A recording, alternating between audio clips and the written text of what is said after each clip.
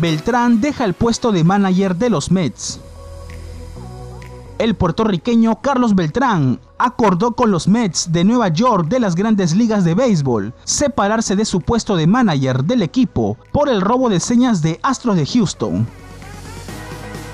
La decisión se produce a raíz de la investigación de las grandes ligas sobre las prácticas del robo de señales de los Astros en 2017, lo que resultó en suspensiones de un año para el gerente general de Houston Jeff Lugnau y el gerente AJ Hinch el último lunes. Posteriormente los Astros despidieron a ambos empleados. Beltrán fue el único jugador implicado en el informe de las grandes ligas, como alguien que discutió que los Astros podrían mejorar decodificando las señales de los equipos opuestos y comunicando las señales al bateador. La liga describió a Beltrán como una persona con conocimiento del esquema de robo de señales de los Astros, pero no lo disciplinó a él ni a ningún otro jugador.